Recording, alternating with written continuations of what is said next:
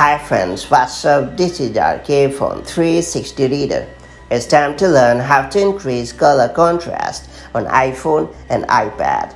For those unfamiliar, iOS comes with a pretty neat accessibility feature called Increase Contrast that allows you to increase color contrast between app foreground and background colors to enhance your viewing experience. So just in case you're looking for a way to improve the viewing experience on your iOS or iPadOS device, you must take advantage of this pretty neat accessibility feature. That all being said, let's dive right in. Before getting started, make sure you have subscribed our YouTube channel and hit the bell icon so that you won't miss any update from 360 Reader.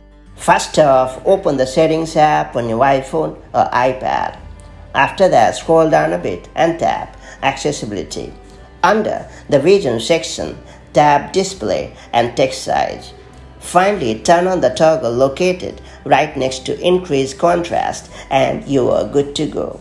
That's pretty much it. The change will come into effect right away and iOS will immediately increase color contrast between app, foreground and background colors. That's all there is to it. So that's how you can take advantage of this pretty neat accessibility feature to improve your viewing experience on your iPhone or iPad. If you have found this video helpful, do like and share it and I'll see you in the next video with more such handy tips and tricks. Till then, stay safe and have a great time. Bye-bye.